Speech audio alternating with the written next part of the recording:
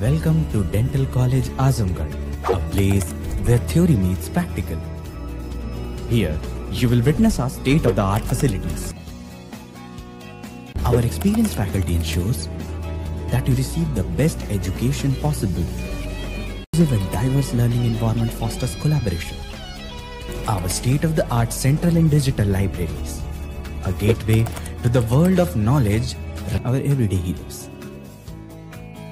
So come and join us. Be the difference.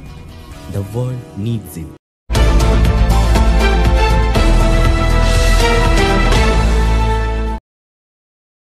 खबर UP के आजमगढ़ से है, जो पुलिस के हवाले से है, जहाँ ज़िले के विभिन्न थानों में पुलिस ने अलग अलग मामलों में आरोपियों को गिरफ़्तार कर जेल भेजा है पुलिस के अनुसार थाना तरवा पुलिस ने सामूहिक दुष्कर्म करने वाले दो आरोपियों फैयाज अंसारी, पुत्र शौकत अली, निवासी महुवारी थाना तरवा जनपद आजमगढ़।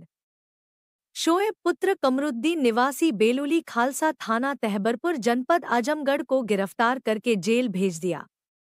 थाना तरवा पुलिस ने किशोरी के साथ दुष्कर्म करने वाले आरोपी चंदन राम, पुत्र लालजी राम, ग्राम चंदवक थाना चंदवक जिला जौनपुर को गिरफ़्तार करके जेल भेज दिया।